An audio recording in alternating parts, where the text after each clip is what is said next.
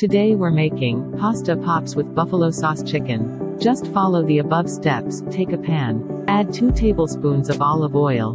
Take 3 chicken breast pieces and fry it. Sprinkle salt, black pepper on chicken breast.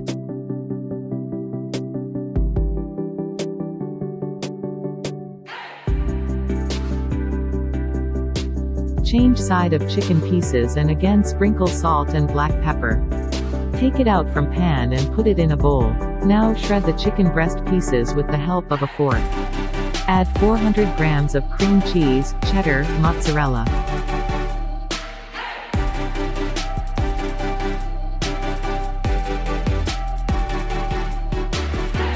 Add hot sauce, salt, cayenne, garlic powder and pepper in it. Mix all the ingredients well.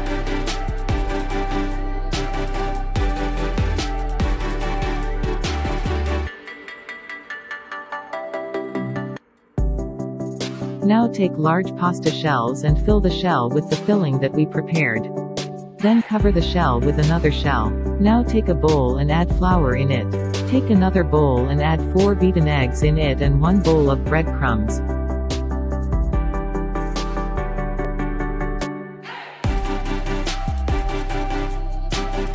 Now first coat the pasta filling shell with flour. Then dip it in a bowl of beaten eggs.